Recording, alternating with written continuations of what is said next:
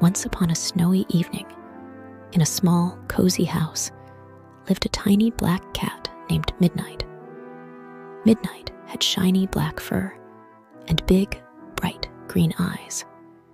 On this particular evening, as snowflakes danced outside the window, Midnight made a special Christmas wish. I wish to find the most beautiful Christmas crystal to make Jenny, my best friend, smile, he thought.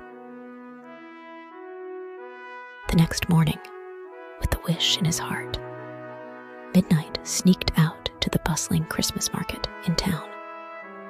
The market was filled with twinkling lights, delicious smells, and joyful laughter. Midnight's eyes sparkled with wonder as he explored. Suddenly, he noticed a trail of sparkling dust leading to a hidden corner of the market. This must be a clue, Midnight thought. After leaving the bustling Christmas market, Midnight wandered into a quiet, snow covered alley. It was like stepping into a magical world with soft snowflakes gently falling and the faint sound of carolers in the distance. Midnight's attention was caught by a shimmering light at the end of the alley. With a mix of curiosity and excitement, he padded softly towards it, wondering if this could lead him to the Christmas crystal he was searching for.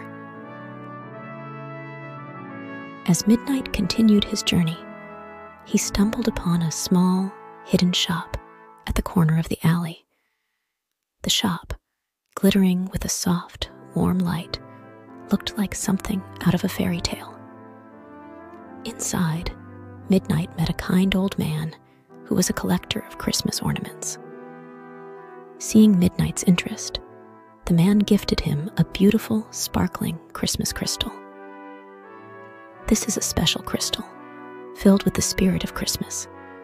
Share it with someone you love, the old man said, with a twinkle in his eye. Midnight gratefully accepted the gift, knowing this was the perfect present for Jenny. With the crystal safely tucked away, he made his way back home, excited to share this magical Christmas surprise.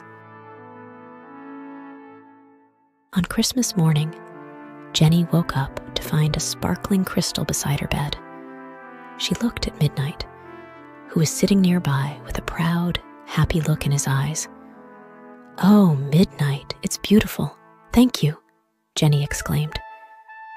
They spent the day together, enjoying the magic of Christmas.